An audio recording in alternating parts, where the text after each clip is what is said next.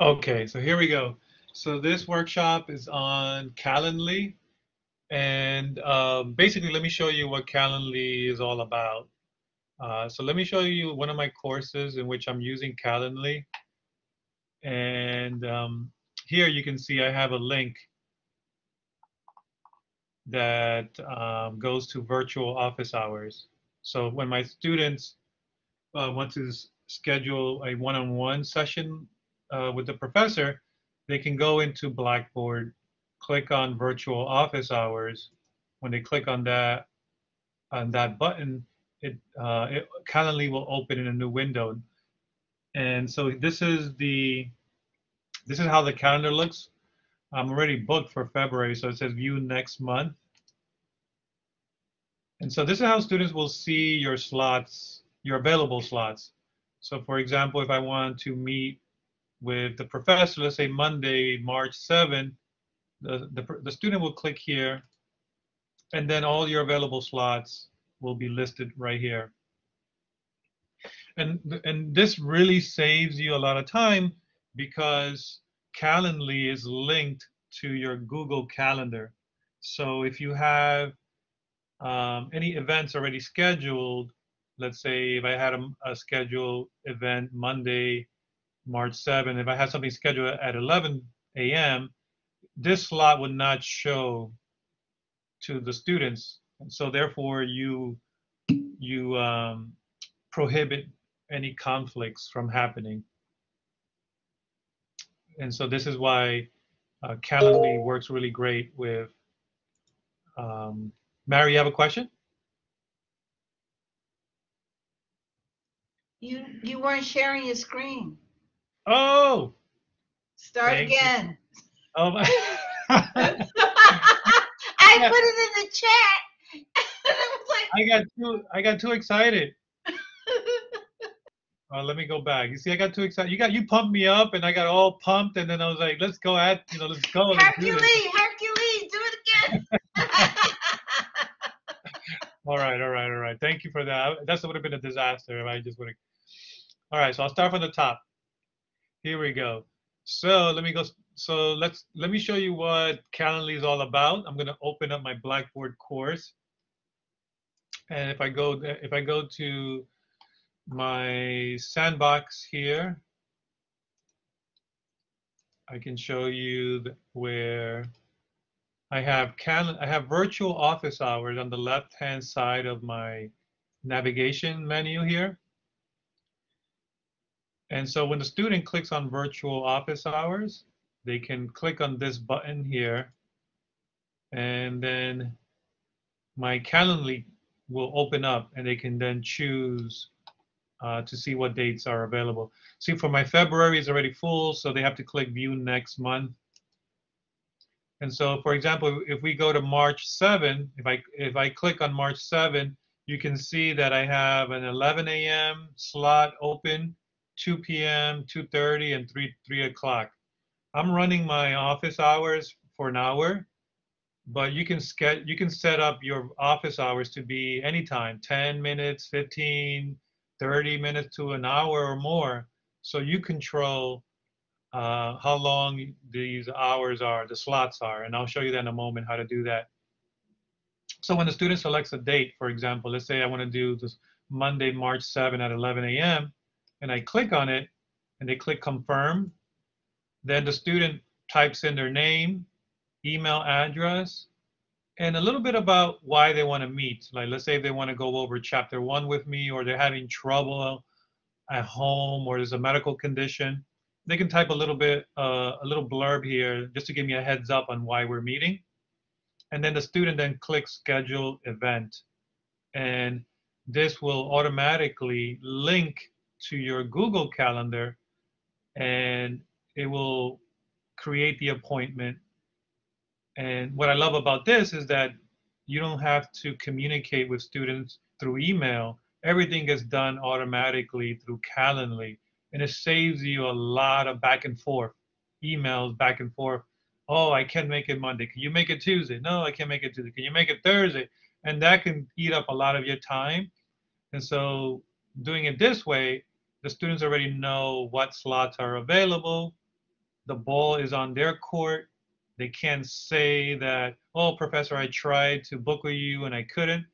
You have all these slots already available for them. If the ball is on their court now, and if they really want the help, they have to go into your Calendly and choose the slot that's available. First come, first serve. And you can always, they can always email you in case all the slots are, are booked. They can always email you and ask, you know, hey, professor, I see that all your slots are taken. Can, you know, can you accommodate me for a different time slot? So that's really what Calendly is all about. It's all about saving you time, automating the whole process, eliminating email communication, and just scheduling an event with no hassle. So if that's what you're looking for, then let me show you how you can set up your Calendly account. So the first thing you have to do is you got to go to calendly.com. So that's C A L E N D L Y.com. And then you're going to create an account. You can click sign up. And you know, you want you can use your FIT email address or your personal email address and then you can link it to your FIT email address that way so that it's connected to your your FIT Google Calendar. I already have an account, so let me show you how uh, you can set up your Calendly. So once you've done the whole registration process, you enter your FIT email address and you've done all of that, and then you then you can log into Calendly. Okay, and so Calendly is there's a free version, and the free version is good enough for what I, for our purposes today in, in creating um, office hours. Um, we at FIT have not purchased it, um, and I don't know if that might happen in the near future. But for right now, the free version is is enough for what we need to do. And so they allow you to create one event. So right now I just have this one little box here and I titled it one-on-one -on -one session. It's a one hour booking. And this is how I, um, this is the link to my Calendly right here at the top, which is calendly.com forward slash Jose underscore Diaz one. So once you're, once you get to this point, you go to the um, to the box. In this case, this, this is the box. This is the only one I'm going to be using for my for my one-on-one sessions. You click on the little gear icon here at the top right corner of the box, and you click on it, and it takes you then to uh, a little drop-down menu. And then you want to select Edit. Right, so go ahead and click Edit. And so everything is lined up vertically in, in the order that you need to complete. So the first thing that we need to do is what event is this, right? So you go ahead and click on what event is this. And this is where you can give the title of your events. This could be titled virtual office hours. It could be titled departmental office, uh, departmental meetings. So whatever title you want to give it, you can type it in right here at the top. Then here, location. This is which platform are you going to use to meet, right? In this case, I'm using Blackboard Collaborate, but you can change this and you can make this um, to either Zoom, Google Meet, any of those platforms, right? Or if it's a face-to-face -face meeting, you can always put the the office that, in which you're meeting, right? So it could be room B508-1. But if you put, let's say, Google Meet, the link to the room will be in this in this invitation, right? So that's what I've done here. I've copied the link to my collaborate sessions and I say, click on this link to join the session. And when they click on the link, it takes them directly into the collaborate room that I'm waiting, you know, in which I'm waiting for them. But if you do Google Meet or Zoom, you don't have to do this part. It already will um, integrate the Google Meet or the Zoom link in the invitation. Okay. Um, here at the bottom, uh, you can put description instructions, you know, hey, bring your meeting notes or bring this or bring that. This is where you can write your instructions here in the body of the email. Here, here at the bottom is the URL, and you have an opportunity to create a custom URL, right? And so it basically gets added to calendly.com forward slash, and then whatever you name your your events, it will fall right here as a URL. And this is what we are going to later copy and put into the Blackboard course so that students can then go back here. Let me show you. Let me go back. And this is this is where that link. Uh, this is where they click here. They're clicking on that link. This link right here. This is the link that I copied and I put in here for virtual office hours. Okay. Then you get to choose a color. So any events that are created through Calendly can then be identified by a color. In this case, I'm using purple to identify um, any events that are scheduled through Calendly. And I can show you that from my Google Calendar. Uh, and so this is how when someone creates an appointment with you, that event will show up in your Google Calendar automatically. All right. So once you're done filling this box, if you make any, any changes, just make sure you click Save and Close to move on to the next box. The next box is when can people book this event? And so you click on that box. I have mine set up to 60 days in advance, which means that anyone who clicks on my Calendly can can make an appointment with me 60 days in advance. That's two months ahead of time, right? And so you decide how how in advance can can your students or colleagues book an event with you. And then you can also do a date range if you want to do that. I have mine set to indefinitely into the future. The next choice here is how long mm-hmm. do you want these slots to be? My slots are set to one hour. I do one hour sessions with faculty. But if you want to set your meetings to 10, 15 minutes with your students, you can just go here in this drop down menu and you can change it. You can also do custom if you want to be, uh, you know, much more specific to, let's say 13 minutes or whatever. Just go to custom and then you can you know, type in the time. And the next choice we have is how do you want to offer your availability for this event type? So I set mine to custom hours. And so right here below, these are the hours that I have set, right? So I'm meeting with faculty. I'm making my calendar available from 11 a.m. to 4 p.m. every day, Monday through Friday, right? But let's say if I wanted to change this, let's say I wanted to meet with them from 11 to 1, and then I have a break from 2 to 3, then I can do that. I can say, I can, I can click on this plus sign, and I'll say, well, you know, I can say from 3 then to 5. And so that 1 to 2 is not available.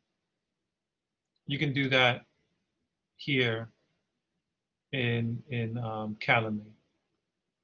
Uh, I don't do it this way only because what I do is I already go into my Google Calendar and I already put slots in there. Let's say let me go far ahead into my calendar because I'm already swamped. My calendar is already so busy. But if I, what I do is I already put slots. I block some slots so that so that Calendly doesn't over overbook me. So I put my lunch slots here and I hide some slots. Let's say at four, I kind of hide my slots. So I don't want them, I don't want anyone to book from four or 10. These are my two hidden slots, 10 a.m. and 4 p.m. So those slots will not appear in Calendly because I have it from 11 to 4. So my 10 a.m. and my 4 p.m. are not bookable. Those are my emergency slots and I keep them hidden for emergency reasons. But as you can see, my lunch slots are taken so that in Calendly, no one will book me for my on my lunch. So Calendly will not allow anyone to book because I already have those blocked in my Google Calendar right here. Okay. So let me just undo what I did here. Let me delete this and put this back to 4 p.m. and 4 p.m. So, so you got a lot of flexibility here. You can you can set your the time range for your office hours directly here. You can also save that schedule if you're constantly changing your schedule. You can save it so that you don't have to come back here and then modify it manually every time. Uh, Calendly allows you to save a schedule so that you don't have to go back and recreate it. If you want to have a buffer time, for me, I have no buffer. I just go from one meeting to the next, one one after the other. I don't do no, you know, I don't do 10 minute in between. I just continue on from 11 to 4. But if you want a buffer to catch, you know, you catch your breath or use the bathroom, you can click here and create a buffer so that after every meeting, you might have five minutes to take a break and then meet the next person after that buffer. So you can you can do that if you want to set a buffer before the event or after the event. So you have a choice.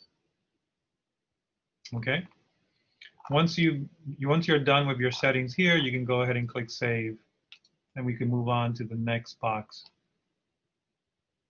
The third box now is invitee questions.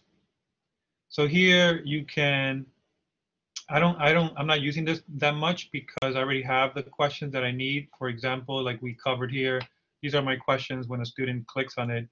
Basically, I'm asking them for their full name, email address, and a reason why they want to meet with me. So, but if you want to add more questions, let me, let me show you what I'm talking about here. These are the three inputs that, uh, that I need, I, you know, the, the, this is where I want them to enter their name, email address, and the reason, you know, please share anything that will help prepare for our meeting. These three are already by default, but if you want to add another question, this is where you can add another question, add a new question, and then you can type in your question. It can be a one line, it could be multiple lines, it could be radio buttons, multiple choice or check boxes, or if you want to collect their phone numbers, so this is the information that you can collect and add, you know, uh, more questions. This is where you would do that. Okay. So I'm leaving this blank because I already have all I need. All I have, all I need is the full name, their email address, and some information as to why they want to meet with me. So I'm not gonna, I'm gonna close this. I'm not gonna add another question. Uh, the workflow we can skip because that is really for the paid version, and so we're we're not going to cover that. Um, eventually, if we do ever buy the the the tool, then you know we can add workflows to the whole process. But we're not going to cover that here. We're going to keep this very simple. The next option is notification and cancellation policy. So if you click on that, then um, this is also uh, with the paid account. So this basically sends reminders, uh, but we don't really need that because Google Calendar already will send reminders to your students. So we're gonna skip this too, so we can make this a lot more simpler. You don't have to do this either. So let's go ahead and skip this. And we're not collecting payments, which it would be nice to collect some payments from our students, you know, some coffee money or, um, but again, we're not we're not collecting payments, right? So we're going to skip these three boxes. We don't need to do any of these three. All right, so we basically have our Calendly set up. Now, if you want to take a preview of how the Calendly is going to look when the students click on it, you can click on the top uh, link here, the top right corner, View Live Page. And this will give you a preview of what the student will see when they click on your Calendly link. Right, so this is what, you know, this is what I typed in for the, the descriptions instructions. Click on this link to join the session. I also have a photo of myself, right? And so you can do the same if you click on the top right corner here, account, account settings, and you can add a photo by clicking on this here and uploading your photo um, and you know and also adding a welcome message if you want. You can add a welcome message. So that when the students uh, go to the landing page you have a nice little welcoming message for them there. And you can do branding. This is where you can you can actually put in the FIT logo if you like. I did that already. And this is where your link is right? This is where I have my custom link. I have my first name underscore Diaz one and you can change this. As long as it's available you can change this to whatever you like. If no one else has taken it then you can make this whatever you like. And this is the login. You can change the login if you ever decide to leave FIT you're not stuck with it you can change this to another email address. So you can always change your login. Okay so that's pretty much it uh, now let me show you how uh, we, we can copy the link and put it into Blackboard. So let me go back into the home page. All right, and so this is the link that I'm going to copy. Now you can also send this link via email to your students, or you can copy this link and also put it on your email signature. Let me show you what I mean by that. So if I go to an email, here at the bottom, um, book a session with me. This is on your email signature in uh, um, in um, in your Google email. You can go to settings. You can click on these three little dots. Sorry, the little gear icon, and then go to see all settings.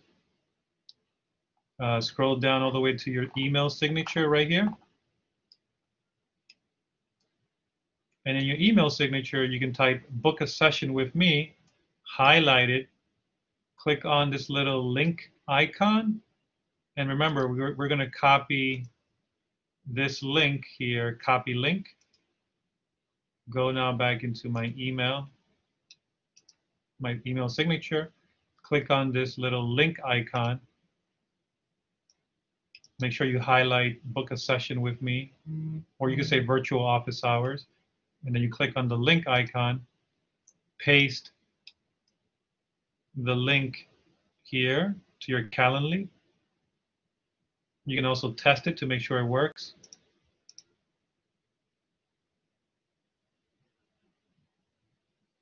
Takes a few seconds. There it is. As you so it is working. Then you click OK and now it's in your email signature. Then scroll down, make sure you click Save Changes. And that's how you add your Calendly link to your email signature so that whenever you email someone, they have access to your Calendly calendar and they can always book a session with you. Now, to put it into you, your course in Blackboard, you simply go to the course that you want to add your Calendly link. And let me go back. And at the top left corner on Blackboard, you have this little um, plus icon at the top left corner. Click on web link. Give it a name, let's say virtual office hours whatever you want to call it. Paste the Calendly link here, Command V or Control V on a PC. And that's the link to your Calendly. Then click on this little box at the bottom left, available to users. Click Submit at the bottom right. And now you have the virtual office hours button here. And so when your students click on it, this should take them to your Calendly page. Let's see if it works. There it is. And so that's how you can, number one, create a Calendly account, how to set it up the how to, how to set up a Calendly account through this you know all the settings that we did, and then how to add the Calendly link to your email signature in Google in Gmail, and then how to add the Calendly link to your Blackboard course. So we covered all that today. And if you have any questions or if you get stuck, uh, please feel free to email me at Jose underscore Diaz, the number one, at fitnyc dot edu, and I'll be happy to help you set up your Calendly account. And um, please let me know how it goes, if it works for you, and then, uh, or if you have any questions, I'll be happy to help.